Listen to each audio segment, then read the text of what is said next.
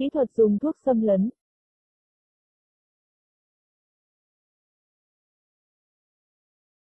Tiêm cho người bệnh khái niệm tiêm thuốc là dùng bơm kim tiêm đưa thuốc vào cơ thể người bệnh có 4 kỹ thuật tiêm cơ bản tiêm trong da tiêm trong da là tiêm một lượng thuốc rất nhỏ, 1 phần 10 dặm ml vào dưới lớp thượng bì thuốc được hấp thu rất chậm tiêm dưới da tiêm dưới da là đưa một lượng dung dịch thuốc vào mô liên kết lỏng lẻo dưới da.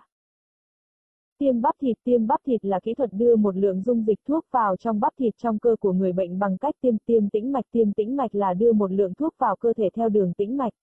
Vậy khi tiêm thuốc cho người bệnh cần đảm bảo những nguyên tắc nào? Nguyên tắc khi tiêm thuốc cho người bệnh phải đảm bảo tuyệt đối vô khuẩn trong suốt quá trình chuẩn bị và tiêm thuốc cho người bệnh, không được trộn lẫn nhiều loại thuốc khi không có chỉ định trước khi tiêm thuốc cho người bệnh phải thực hiện 3 kiểm tra, 5 đối chiếu hoặc 5 đúng. Làm test lẩy ra đối với người bệnh có tiền sử dị ứng trước khi tiêm, sử dụng bơm kim tiêm phù hợp với số lượng thuốc và từng kỹ thuật tiêm trước khi tiêm thuốc cho người bệnh phải đuổi hết khí trong bơm. Khi tiêm phải thực hiện nguyên tắc hai nhanh, đâm kim nhanh, rút kim nhanh, một chập bơm thuốc chập đâm kim đúng góc độ quy định cho từng kỹ thuật tiêm khi tiêm thuốc cho người bệnh phải có hộp đựng thuốc và phương tiện chống sốc phản vệ. Các kỹ thuật tiêm thuốc, kỹ thuật thứ nhất tiêm trong da vị trí, góc độ tiêm trong da vị trí, 1 phần 3 trên mặt trước trong cẳng tay, phần trên của cơ delta góc độ 10 độ đến 15 độ.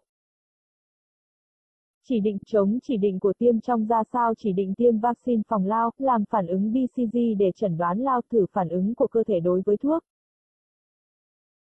Kỹ thuật thứ hai tiêm dưới da vị trí, góc độ tiêm dưới da vị trí, chi trên cơ delta cơ tam đầu cánh tay, chi dưới cơ tứ đầu đùi, mặt trước ngoài, vùng da bụng, cách rốn khoảng 5cm góc độ 30 độ đến 45 độ. Chỉ định chống chỉ định của tiêm dưới da chỉ định tiêm dưới da được thực hiện đối với những loại thuốc có chỉ định tiêm dưới da thường là những thuốc mong muốn hấp thu thuốc chậm và duy trì thời gian tác dụng chống chỉ định những thuốc không được phép tiêm dưới da thuốc khó hấp thu, gây đau, gây hoại tử.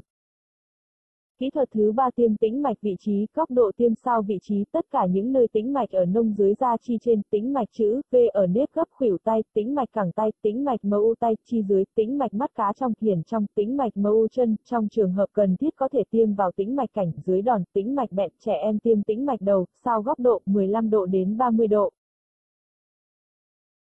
Chỉ định chống chỉ định của tiêm tĩnh mạch chỉ định tất cả các loại thuốc có chỉ định đưa vào cơ thể người bệnh bằng đường tĩnh mạch khi người bệnh cần có tác dụng nhanh của thuốc với cơ thể cần đưa vào cơ thể người bệnh một khối lượng thuốc dịch nhiều, những thuốc gây hoại tử da tổ chức dưới da cơ chống chỉ định tiêm bắp nhưng lại có chỉ định tiêm tĩnh mạch.